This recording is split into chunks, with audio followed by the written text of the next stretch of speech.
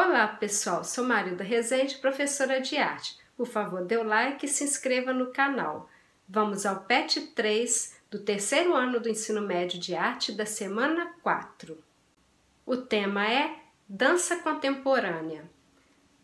Ela surgiu por volta de 1950 nos Estados Unidos no intuito de romper com a cultura clássica que predominava até então.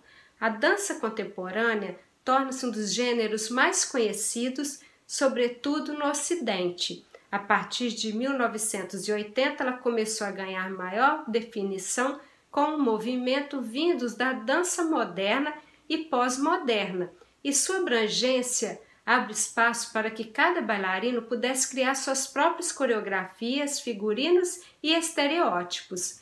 Isso levou a mostrar uma nova linguagem, expressando em suas danças não somente coreografias preconcebidas, mas sentimentos, ideias, conceitos e movimentos próprios, como também a consciência da corporeidade e da sua arte.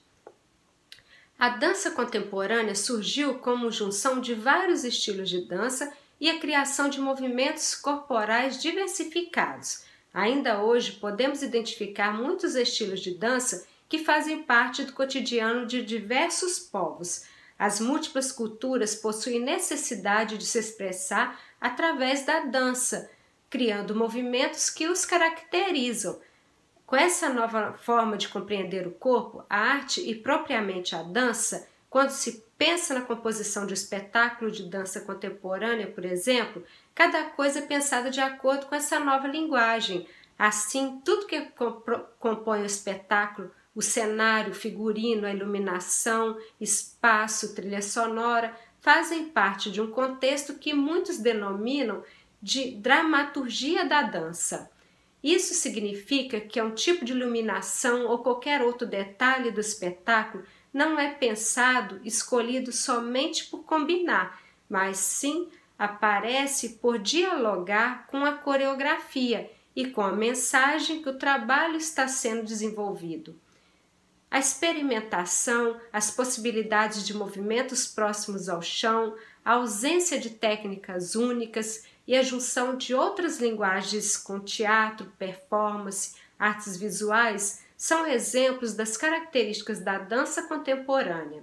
Atualmente existem vários estilos de dança contemporâneas espalhados pelo mundo.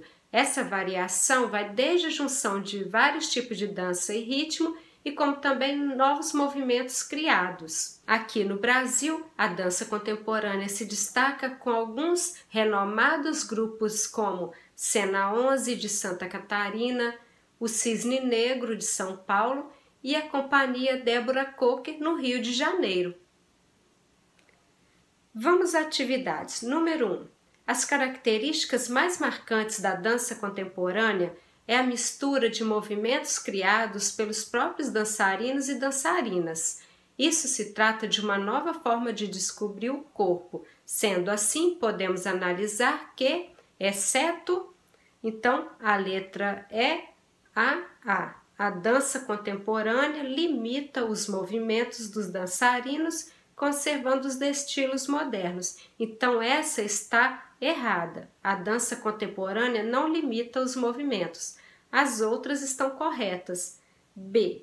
Dança contemporânea explora a capacidade de cada dançarino tem de construir desenhos com o corpo.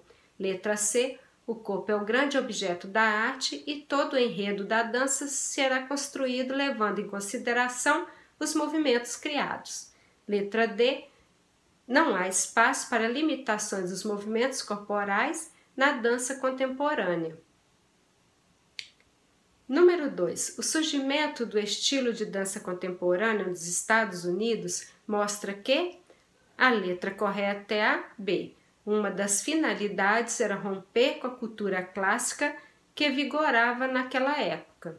Número 3. Como é possível identificar um estilo de dança contemporânea em meio a outros estilos de outras épocas?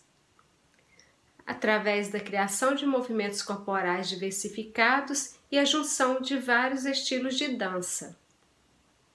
Número 4. Você é capaz de criar um vídeo de dança contemporânea Construa seus próprios movimentos em até um minuto e envie para seu professor de arte. Se não for possível criar um vídeo, não tem problema. Faça a dança e chame alguém para ver. Pode ser uma pessoa de sua família. Veja esse exemplo de dança de uma pessoa de minha família.